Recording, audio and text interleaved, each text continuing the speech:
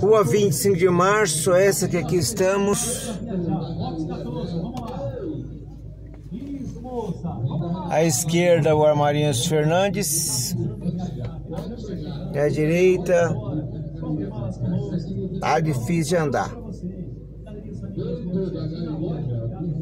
Pretendemos andar.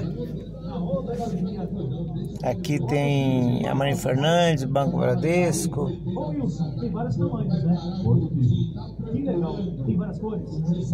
Essa é a rua 25 de março. Não sei realmente o que aconteceu.